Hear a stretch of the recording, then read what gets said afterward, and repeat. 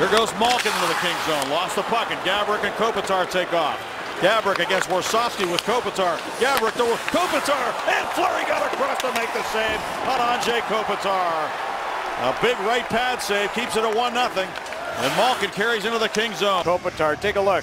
The dish pass over the stick of Warsofsky. Kopitar just couldn't elevate it.